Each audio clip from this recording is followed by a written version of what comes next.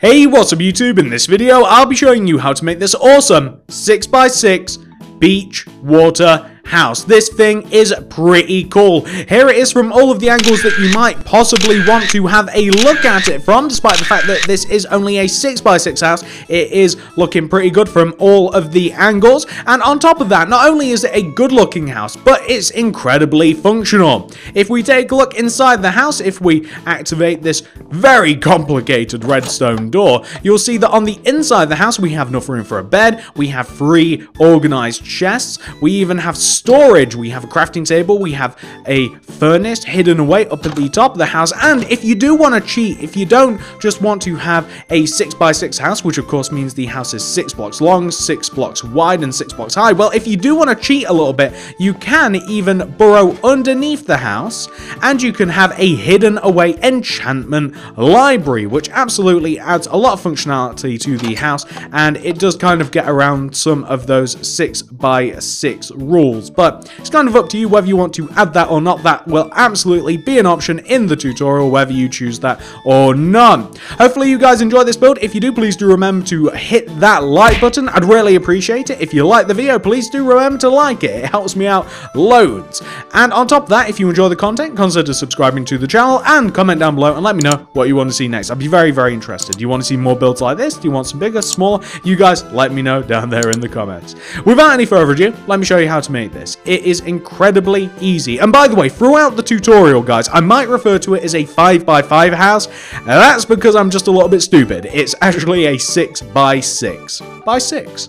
So, if you want to make it, here's what you'll need. Grab yourself some birchwood planks, some birchwood stairs, some birchwood fence, some iron trap doors, some white stained glass pane, red wool, white wool, iron doors, and some stone pressure plates. Absolutely everything else in my inventory is for indoor decoration, so you don't really need that stuff, but you may want to grab it anyway. Now once you have all of the things, at least in the hotbar, and once you've figured out where you want to make it, I'm going to be making mine on this desert island.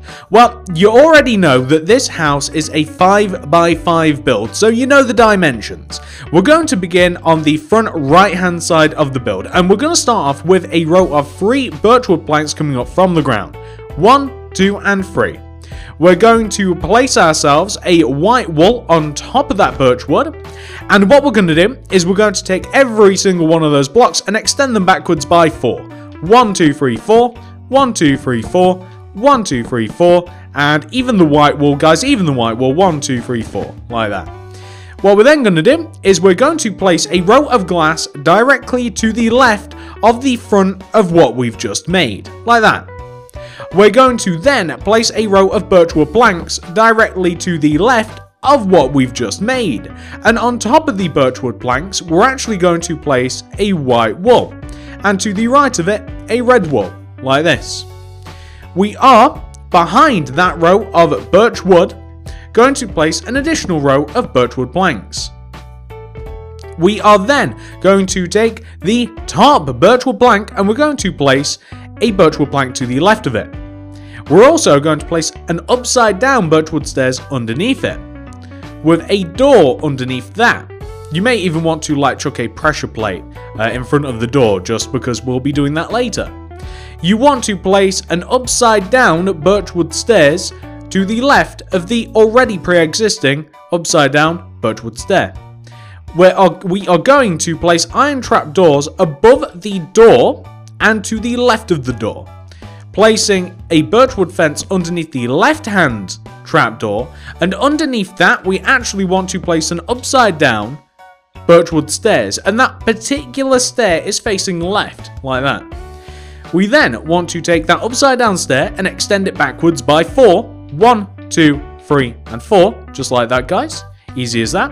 We want to place a birchwood plank on top of that last stair, we want to go right of that by 2 with the white glass, 1, 2. We then want to place ourselves a birchwood plank to the right of that. We then want to place birchwood planks on top of the birchwood plank and the two glass, like this. There we go. And what we then want to do is we want to place on top of all of this, we want to place upside down birch wood stairs. So looking exactly like that, we want to have something which should look like this. And it gives the house a really cool, unique looking shape in doing this. Now, where we have the walls, we want to go left of this white wall.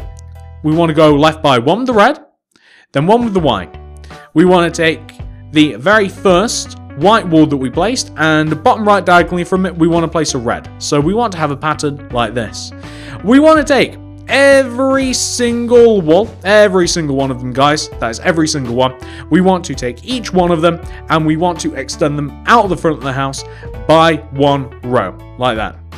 And we want to then extend every single one of those walls out of the back of the house. We actually want to extend them towards the back of the house, not out of the back of the house, guys. We want to extend them each towards the back of the house until they each line up with the very back of the house like this.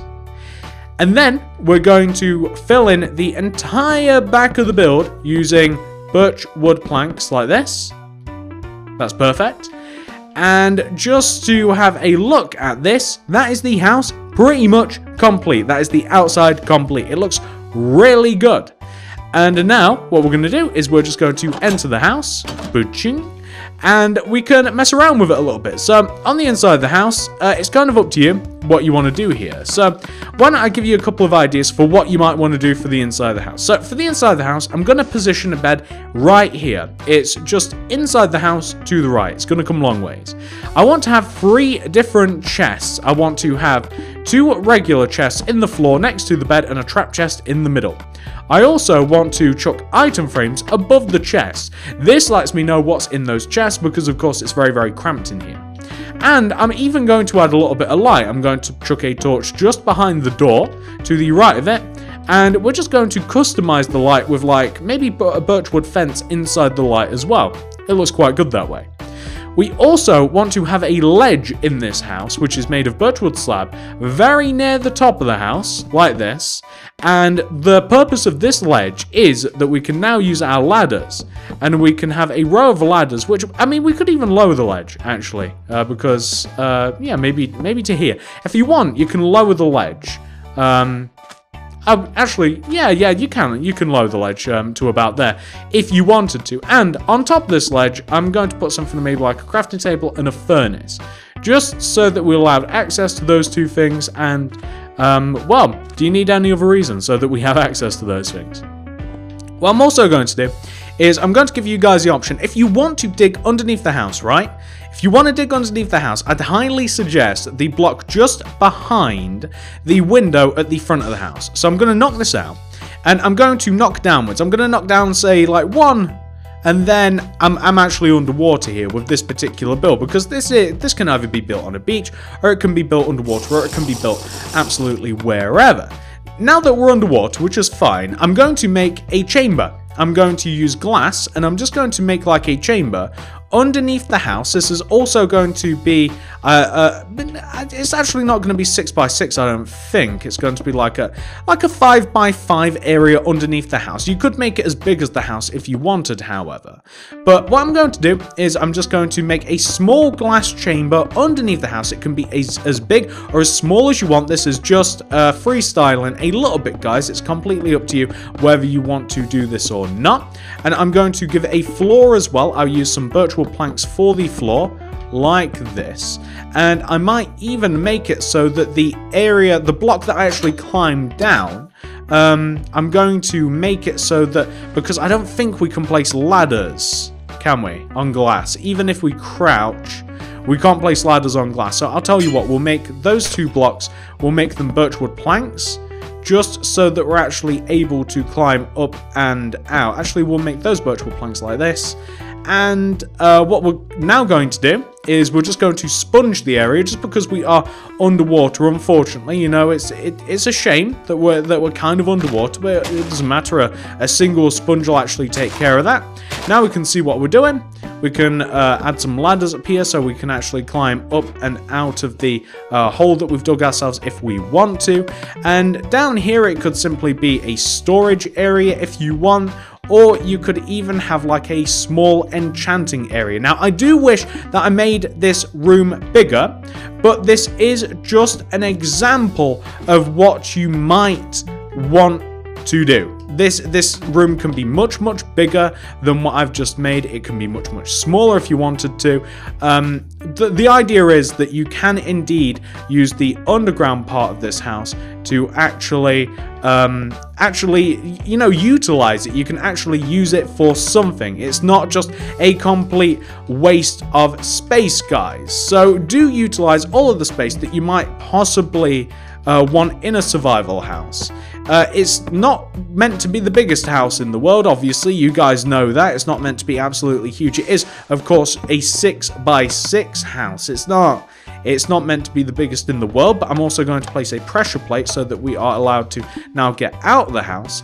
And that that is that, guys. I mean, that's the house fully functional at that. And you can even see the little compartment that we have hidden underneath the house. That's actually kind of cool. It's definitely a little bit of an Easter egg for those of you that might have little friends out there that uh, are very, very curious about the houses that you built and they might even uh, find that. But yeah, this is house functional, guys. We can walk in and out. We can climb the ladder. We have the crafting table. We have the furnace.